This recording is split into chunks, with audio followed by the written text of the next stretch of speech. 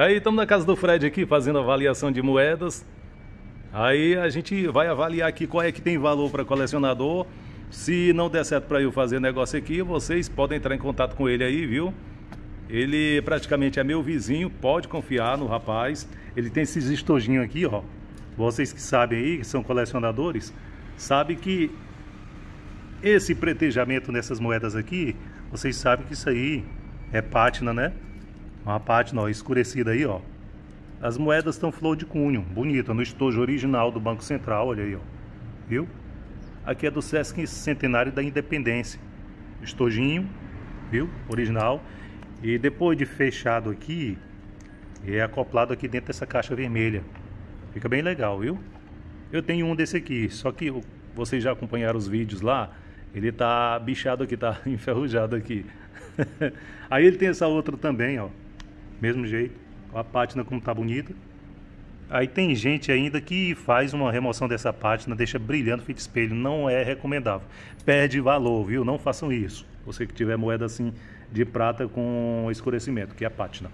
E ele tem essas outras aqui, a gente estava procurando aqui, por exemplo, dessa aqui do pescador. Aquela de 1991 que tem um pontinho entre o 9 e 1 e do pescador que agrega um valor grande para colecionador. Já pensou, Fred? Se isso aqui é. tudo fosse dela, é.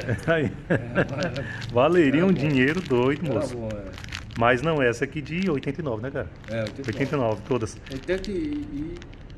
É, 89. Então todas flor de cunho. Flor de cunho, para quem não sabe, são moedas novíssimas, sem avaria, sem sujeira, sem moças, todas perfeitas. Agora, uma coisa interessante é que a gente viu que ele tem várias dessas aqui e a gente está procurando aquela variante famosa que tem o bebê aqui.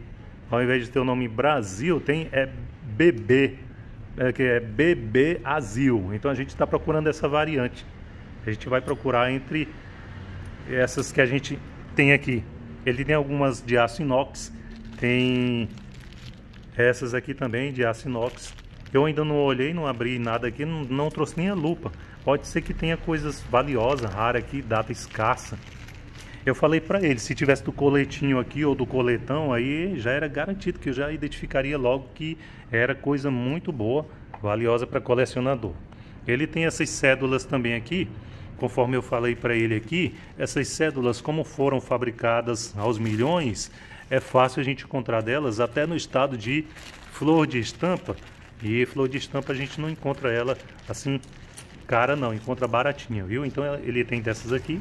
Eu, a princípio, eu pensei que ele tinha de réis. Pode tirar, Fred? Pode, pode. Eu pensei que ele tinha de réis. Se tivesse de réis, seria um muito bom, muito bom, porque eu já levaria. Aí tem essas aqui, tem esse estrangeiro, primeiramente, né? estrangeiro aqui. É da Sérvia. É da Sérvia, é? É. Sim, aí eu falei para ele, ele perguntou, mesmo assim, não tem valor não? Aí, se a gente encontrar alguma que tenha asterisco aqui antes do número, é, que significa que fosse reposição, né? Aí teria valor, né? Teria valor. Olha essa aqui como tá bonito. Do Barão do Rio Branco de cinco cruzeiros. Tem essa aqui também, Duque de Caxias, dois cruzeiros, muito bonito. E embora ela seja um verde esmeralda, a gente sabe que a tiragem dela não foi lá essas baixas e aí a gente é muito fácil encontrar elas até flor de estampa. Estão muito bonitas essas três aqui. Essa do Tiradentes eu falei para ele, se fosse num estado melhor, como ela é sem carimbo, ela agregaria um valor até bom para colecionador. Mas como ela está no estado de BC ou TG, aí ela já desvaloriza bastante. A não ser que é, tenha colecionador que esteja precisando dela, porque tem vários colecionadores que não tem ela. Essa aqui da Cecília, de 100, é, 100 cruzeiros. Do Augusto, 50 cruzados novos. A Cecília novamente, ela vem novamente com cruzados novos, só, porém ela vai receber o carimbo de cruzeiros, né? Aí ela, o que tem que acatar é o carimbo, né? E vários do Machado de Assis de mil cruzeiros, vários. Aqui já é o Machado de Assis com carimbo de um cruzeiro, muito legal. Aí Assis tem Brasil. do, sim, é do Oswaldo Cruz. Oswaldo Cruz. É 50 cruzados. Se tivesse algum costeiriço, seria legal, né? É. Essas aqui estão boas, essas aqui estão bonitas, né? Estão bonitas aqui. Tem algumas MBC mais para soberba. Aqui é do Juscelino Kubitschek na cédula de 100 cruzados. Muito legal, muito legal, bonito. Mas se tivesse com asterisco seria bem mais legal, viu? Do Vila Lobos no 500 cruzados tivesse com asterisco também, eu já levaria com asterisco para colocar em minha coleção. Beleza, esse fim daqui. Essas aqui são as cédulas que ele tem, todas as que ele tem aqui. Perguntei se ele tinha de réis, ele se confundiu, não tem de réis, ele tem dessas de cruzeiro, viu? Beleza, Fred. Certo. A gente vai uh, ver algumas coisas aí, algumas moedas, vou olhar na lupa e eu retorno com vocês aí. Eu estava olhando aqui algumas moedas, meu tempo está corrido também. Essas aqui são todas flor de cunho, novinha, viu? Não tem nenhuma variação dessas de bronze e alumínio da BB. Variação é de B Azil, né? BB Azil. Ou chama de BB.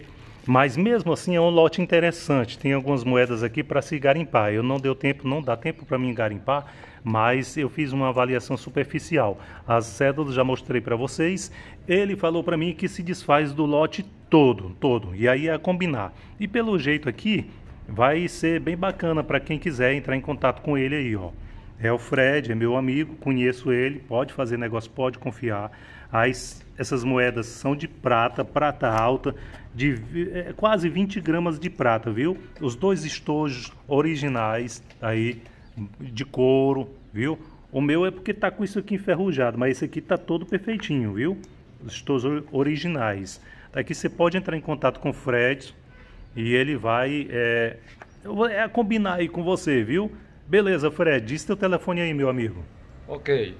É, pois é, pessoal, aqui eu estou me desfazendo é, o lote todo, né? Exatamente. É, quem quiser, quem tiver interessado, é, pode entrar em contato comigo no 9417 1444. Código 86, né? 86, DDD 86. Repete de novo aí. DDD 86 9417 1444. Beleza, meus amigos. Aí vocês podem é, conversar com o Fred, viu? Indicado do Aldo Santos. E beleza, vamos embora. Pipoca, meu filho. Olha o Oswaldo. Olha, cai pra cima, Oswaldo. Tem coisa boa aqui pra ti, rapaz, pra tu revender. Beleza, Fred. Valeu, meu querido. Muito obrigado aí. Valeu, valeu, valeu. Meus nobres, aqui sim é Mesopotâmia, é centro, viu? Entre Serra das Confusões e Haste Rupestre, a Castelo de Pedra. Aqui, Mesopotâmia do Nordeste. Aldo Santos Piauí, ficando por aqui. Valeu, meus queridíssimos. Tchau. Valeu, Fred.